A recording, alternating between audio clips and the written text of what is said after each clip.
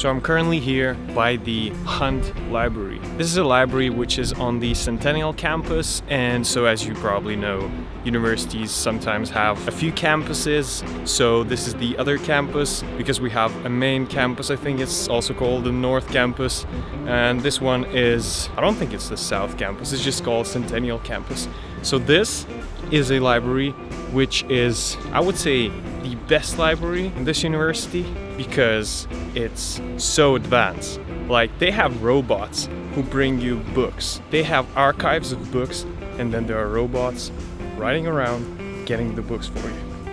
And I think that's cool. And I'm here just because me and my entrepreneurship team has to do some work.